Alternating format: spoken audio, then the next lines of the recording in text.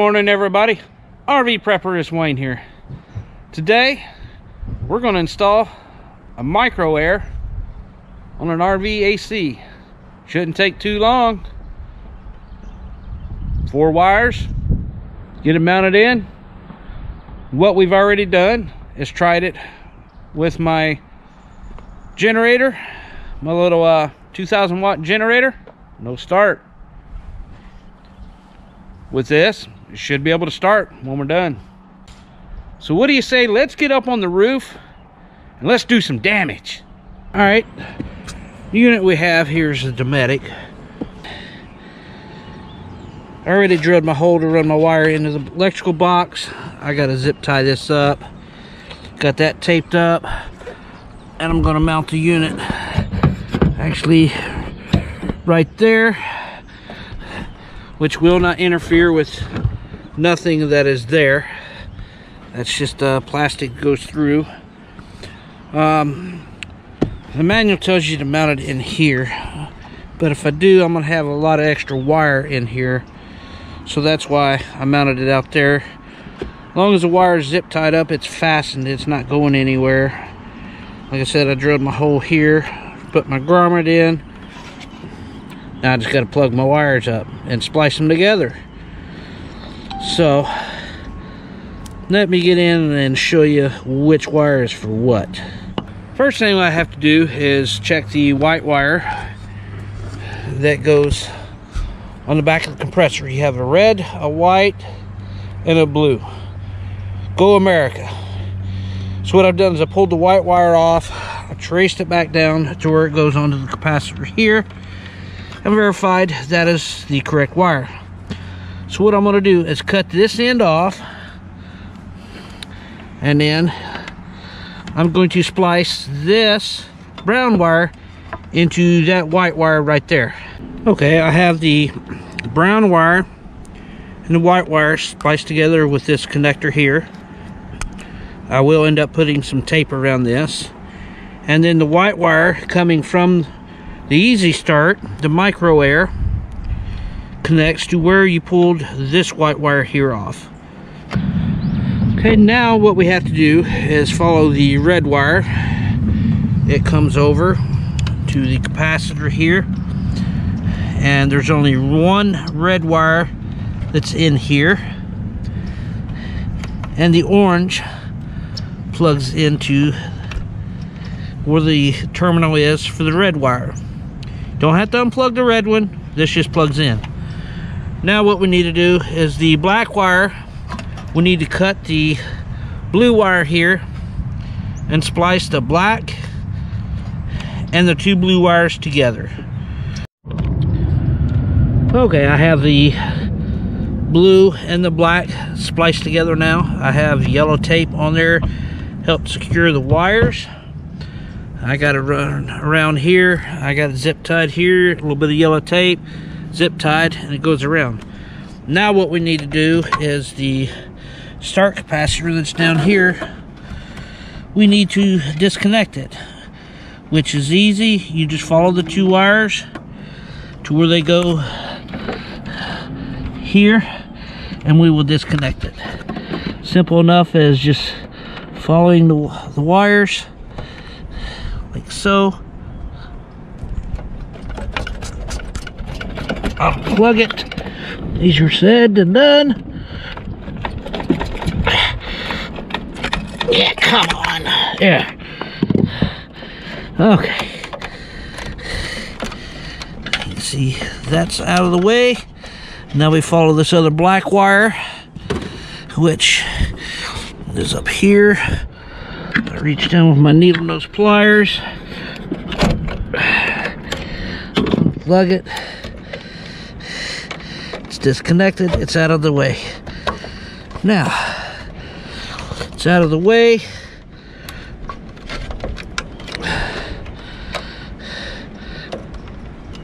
And what we'll do is you push the wires down.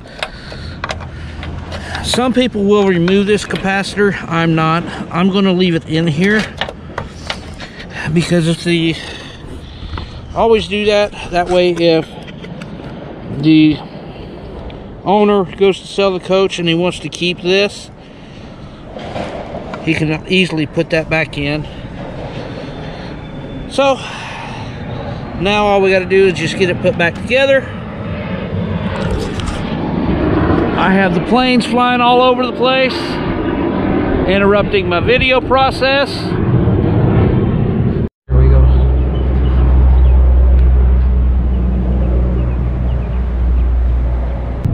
Now all I need to do is mount the unit. I've already taken the alcohol wipes and cleaned over here and cleaned the back of this.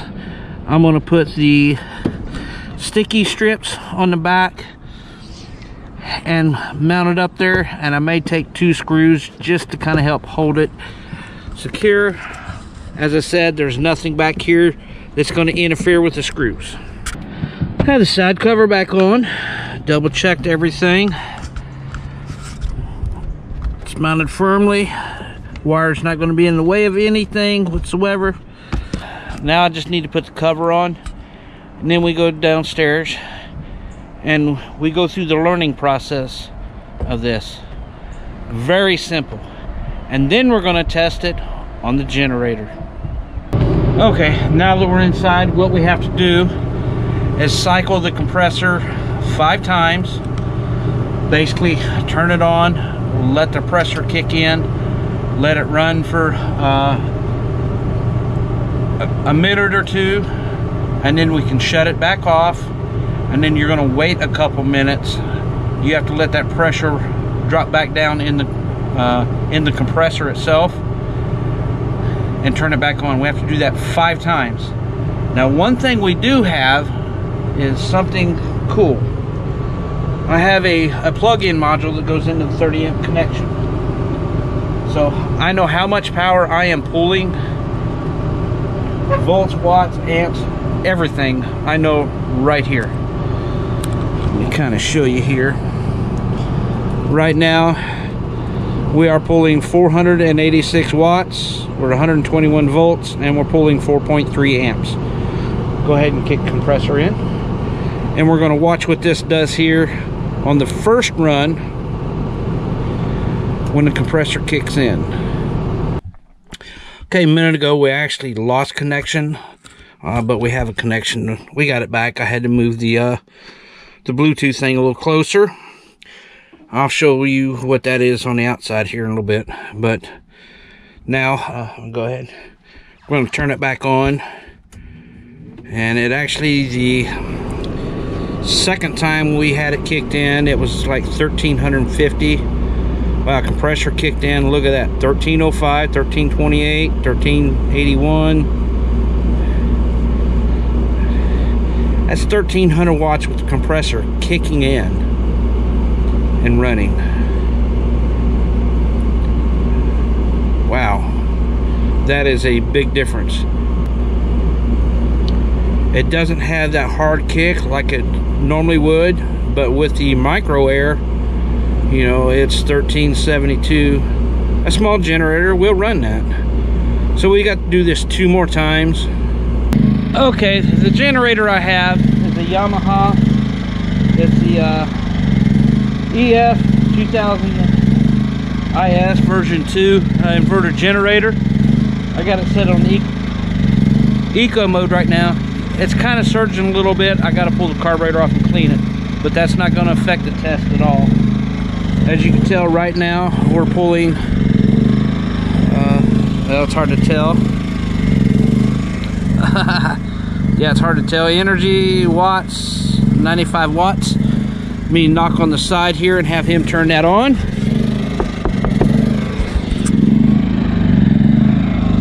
Alrighty. That's the fan that's kicked in.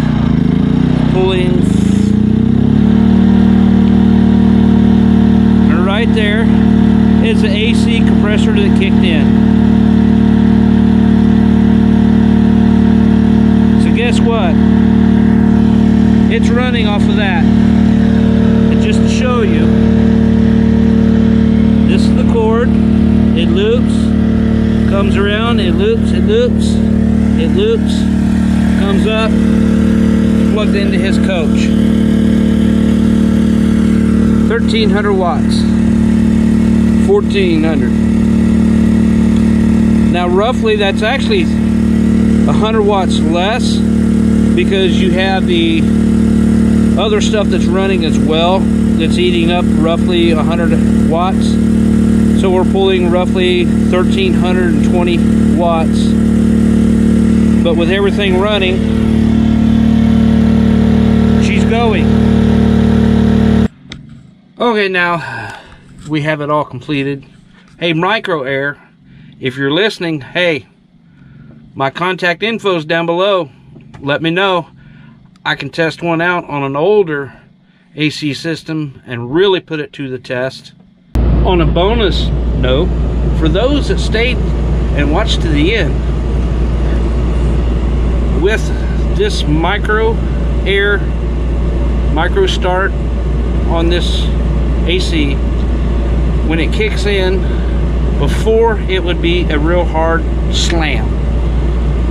Like you're basically hitting a brick wall. Now, it's a gradual, like you're climbing up a hill. So much easier, easier on the electrical system, easier on the batteries, easier on the inverter, everything's so much better. It's actually going to help the AC last longer because the compressor is not kicking in as hard. It's a win-win. Thanks, guys.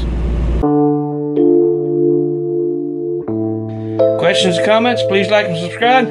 Give me that thumbs up. I will see you all in the next video.